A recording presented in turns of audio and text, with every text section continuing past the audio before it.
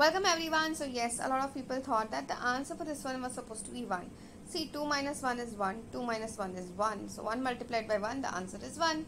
No, that's not how these things are supposed to be done. Please understand while solving these kind of sums which have multiple operations, you have to follow the rules of BODMAS or PEMDAS. Now in both the cases, you need to realize that division and multiplication hold higher precedence than addition and subtraction. So here before doing this subtraction we need to do this first. So we'll keep 2 as it is. Minus 1 multiplied by 2 is minus 2 minus 1. Okay.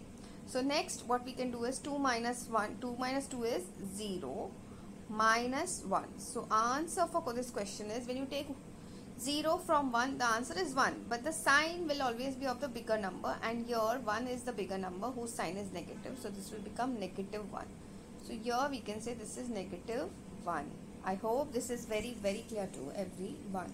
That's it for today. I will see you in the next video